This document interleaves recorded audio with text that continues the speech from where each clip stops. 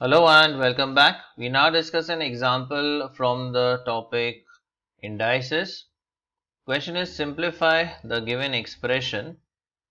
So here we have been given the expression as 4 raised to minus 1 minus 5 times sorry 5 raised to minus 1 the whole square into 5 by 8 raised to minus 1. Now we use the laws of indices.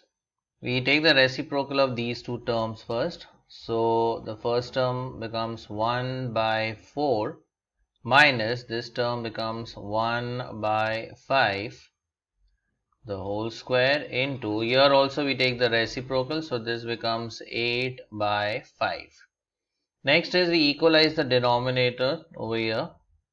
So we obtain 5 minus 4 upon 4 5s uh, is 20 the whole square into 8 by 5 then 5 minus 4 that gives us 1 so we have 1 by 20 the whole square into 8 by 5.